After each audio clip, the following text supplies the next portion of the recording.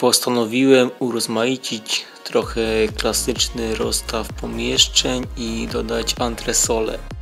Informuję, że w pierwszej minucie będą same zdjęcia, a później jest już materiał wideo. Do skucia miałem 15 m2 stropu monolitycznego grubości 18 cm. Na początku pomyślałem, żeby wynająć jakąś ekipę do tego, ale najniższa cena jaką mi krzyknęli to aż 5000 zł. Dlatego postanowiłem zrobić to własnymi siłami. Skucie, poprzecinanie drutów, niesienie gruzu. Zajęło mi łącznie 42 robocze godziny. Czy to dużo, czy to mało, trudno określić. Wiem, że roboty przy tym było bardzo dużo.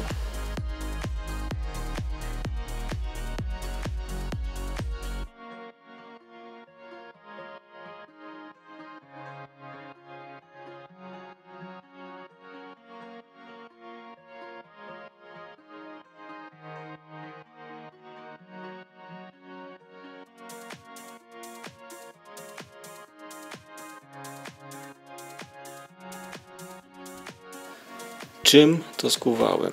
Na początku myślałem, że poradzę sobie tą młotowiertarką 8 Juli na SDS Plus, ale okazało się, że był to słaby pomysł.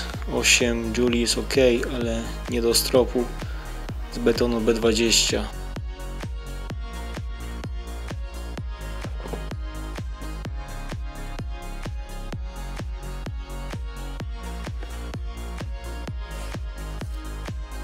Tu mamy drugi sprzęt, tym razem lekki młot wyburzeniowy 15 Juli na SDS Max i ten młot już ze stropem dawał sobie radę.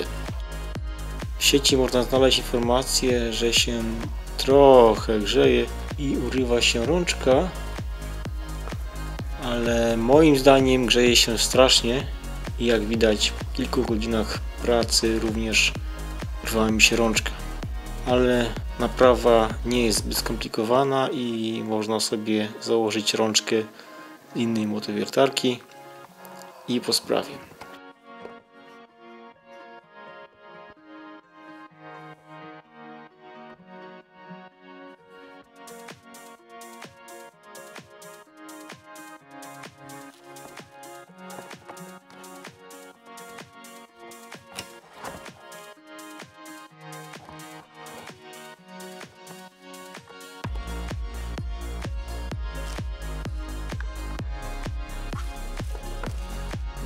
Do tego młota jeszcze wrócimy.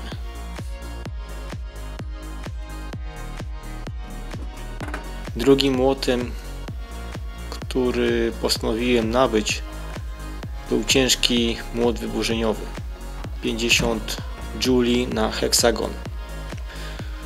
E, Już sama waga tej zabawki sprawia, że nawet nie potrzeba używać siły, bo młot e, po prostu niszczy wszystko, co mu stoi na drodze.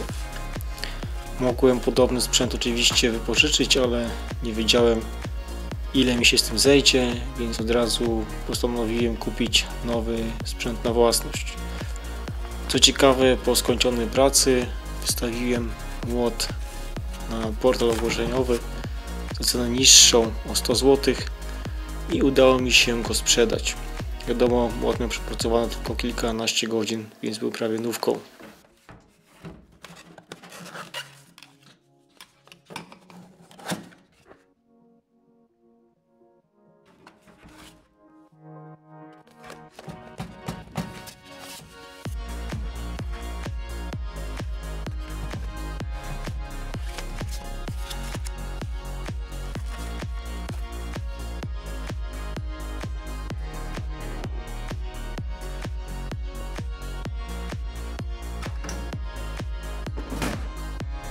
A teraz może podsumowanie, czyli wady i zalety poszczególnych narzędzi.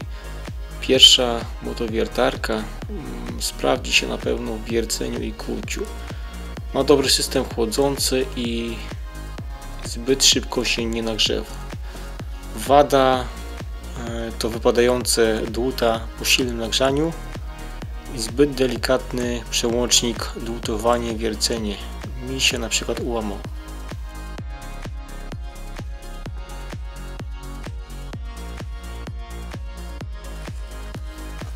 Ten młot wyburzeniowy przez swoją wagę waży zaledwie 5 kg. Mógłby być naprawdę super narzędziem, gdyby nie fakt, że się strasznie nagrzewa. Na szczęście ma mocowanie SDS Max, więc e, mocowanie dłut jest stabilne. Ogólnie praca tym narzędziem jest bardzo wdzięczna.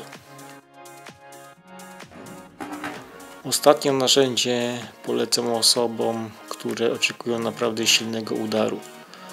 Udar jest silny, ale nie jest e, przenoszony na osobę pracującą i mimo dużej wagi poradzi sobie e, z obsługą tego narzędzia niezbyt silna osoba. Mocowanie na heksagon to mistrzostwo i tyle w temacie. E, A czy ten młot ma jakieś wady? Ma. Nie działa w nim udar.